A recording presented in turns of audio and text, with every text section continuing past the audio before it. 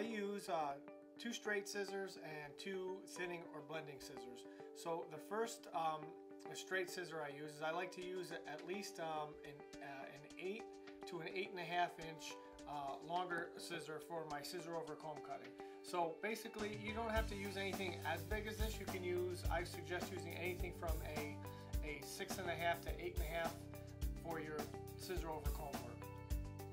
Uh, the thing I like about it is, is the bigger the blade, because when you're cutting with the blade, you should only be cutting with you know the front third or the front half of the blade, so you can cover a lot more ground. So the less passes you have to make, um, the more accurate your haircut's going to be. So the, the, correct way to hold to hold your scissor is you want your ring finger in the uh, in the top hole and your thumb in the bottom hole, and you don't want your thumb going in too far. And you want to make sure that when you're cutting, that you have the scissor slightly pointed towards you.